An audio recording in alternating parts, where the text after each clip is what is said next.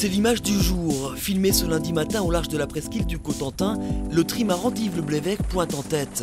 Il ne fallait pas le louper, l'Express, emmené par la locomotive actuelle, a mis les gaz. Son skipper a su jouer sa partition à la perfection, mais il s'est engagé dans un mano à mano.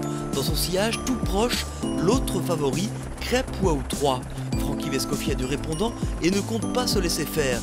Tous deux ont su se jouer des conditions climatiques et tirer profit des atouts de leur machine. Et ce n'est pas le monsieur météo de la course, Richard Silvani, qui les contredira. Les multicoques euh, ont le pouvoir d'aller très vite dès que la mer est calme et qu'il y a, 10, 15 nœuds de vent. C'est des bateaux assez magiques. Bon, malheureusement, ça va, la flotte s'est déjà étirée, mais je pense que ça va continuer à s'étirer puisque le vent va mollir un petit peu par l'arrière et puis euh, les deux fuyards de devant vont faire que creuser leur écart. Ça va être un petit effet d'accordéon qui va un petit peu s'accentuer euh, avec le petit coup de pouce de la météo. Un air d'accordéon qui ne ravit pas Loïc Féquet. Le skipper du trimaran ou 2 en a fait son parti, troisième, à quelques 40 000 du duo de tête.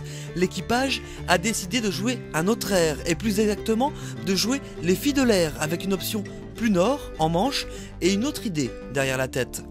On était un petit peu inquiets avant parce que nos deux petits collègues se sont un peu échappés quand eux ils ont passé le, four. Et c'est vrai que depuis qu'on a pris euh, le chenal du four, là on est actuellement à 17 nœuds et euh, on fait quasiment route directe sur la nous, on n'a pas comme but de rattraper les deux qui sont devant sur les 12 heures qui viennent. On a comme but de, de ménager le bateau pour aller jusqu'au bout déjà. C'est pour ça que cette nuit, on a peut-être un petit peu trop réduit. Au four et au moulin, pour ne pas perdre trop de temps sur les premiers, Erwan Leroux, sur Fenêtre à Cardinal, s'est lui aussi pris au jeu un jeu qui ne lui a pas souri pour le moment, le passage du Ratsin s'étant montré particulièrement délicat. Septième et dernier d'un paquet de trois, le skipper ne cache pas sa déception. Pour être franc avec toi, c'est pas terrible. On était encore bien placé ce matin, et quand on est arrivé au Ratsin, euh, il s'avérait qu'on a eu le courant euh, contre nous.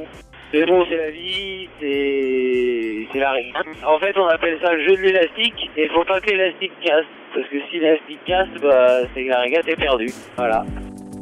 Un nouveau jeu attend la flotte en manche, celui du chat et de la souris. Avec le trafic ultra présent, il va bel et bien falloir redoubler de vigilance.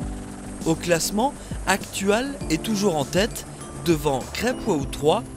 Derrière, à plus de 200 000, l'équipage de Pierre 2 à qui il faudra sans doute plus que des formules mathématiques pour combler le retard sur les premiers.